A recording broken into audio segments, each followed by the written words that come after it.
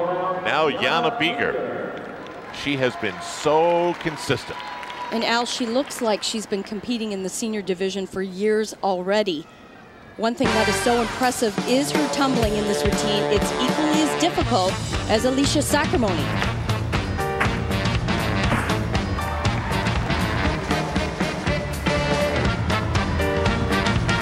There's mom, her coach.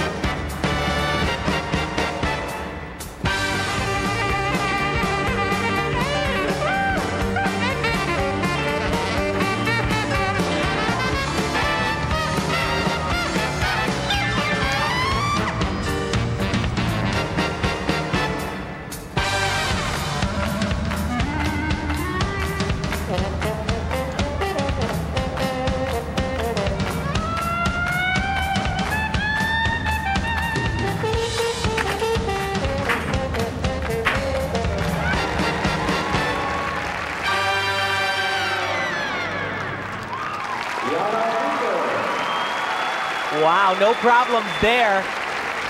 And you know, I talked to their mom right before the meet began, and she was very worried because this is the first meet that Jana is competing in at the senior level where she doesn't get a warm-up immediately prior to the event. It's something new they're doing in gymnastics now at some of the major competitions, but she handled it without any problems at all.